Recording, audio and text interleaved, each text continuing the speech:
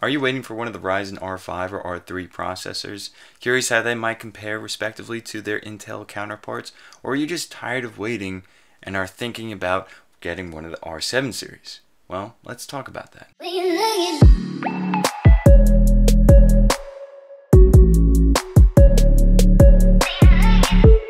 What's up guys? My name is JD from JD Tech Gear and welcome back to the channel where we're talking about tech reviews, unboxings, PC passion, and setup design. So if you're into that sort of thing, consider checking out the rest of the channel and subscribing. So when it comes to the Ryzen lineup, the R5 and the R3 series are going to be late to the party. AMD has claimed that they're going to release sometime in Q2 of 2017, which means anytime between April and June, but hopefully April. The R7 series is ready to launch on March 2nd with their 8-core 16-thread enthusiast CPUs, but what can we expect from the R3 and the R5 series and how they'll perform? And is it even worth more of a wait?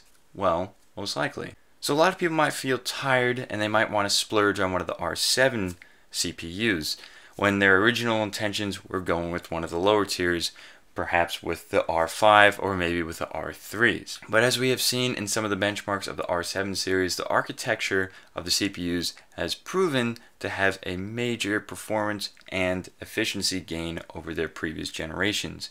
And we can expect some sort of similar jump in performance with the R5s and the R3s. So the R7 series has turned a lot of heads and has even gotten Intel's attention for their price for performance. With that being said, $330 at a base price for the R7 series can still be a decent chunk of change for some people. But of course, we've been waiting in intense anticipation for what these Ryzen CPUs would be capable of. But if you're on that line between purchasing an R5 and R7, here are some things to consider if you should wait or not. So the R5 and the R3 series are going to be priced under $300 while also most likely sporting high performance to their price equivalent Intel CPUs. While there are very few benchmarks of these Ryzen tiers, specifically the R5 and the R3, the 1600X has some leaked benchmarks that are definitely worth considering.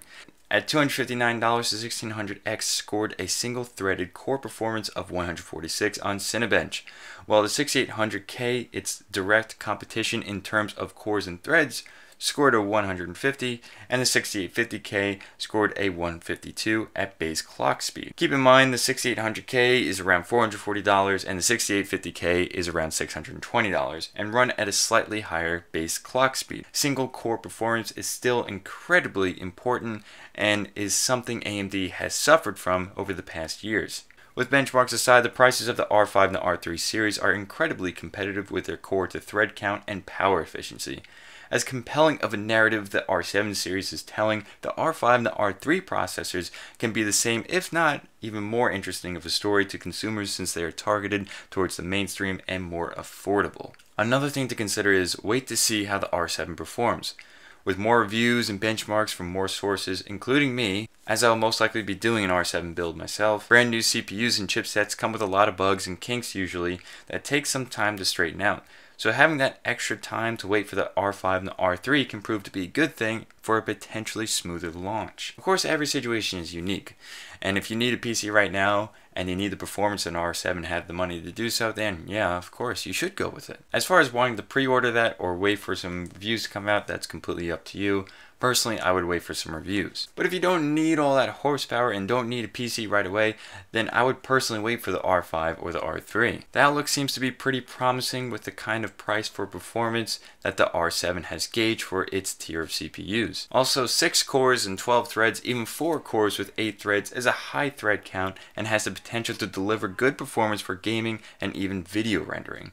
Even the R3s with 4 cores is plenty for gaming. In the end, of course, it's your decision, but those are some of the things to consider if you're stuck on the line between purchasing an R7 chip versus an R5 or even an R3. But even if you are looking at an R3, you're most likely not going to be interested in the R7, but yeah, I'm still addressing that if you are. The way can help save a few bucks, still get admirable performance, and possibly save some of the headaches when a new chip and socket releases. So those are some of the things that you should consider and hopefully gives you some insight about that sort of perspective. So I hope this helps you guys out. If you're on the line between purchasing an R5 and R7, waiting or not worth the wait, just let me know in the comments what you think about that below. And like the video if you liked it, dislike if you didn't. So if you guys haven't already, consider subscribing to the rest of the channel if you want to see more videos like this. And I want to thank you guys for watching the video, and I will catch you guys next time.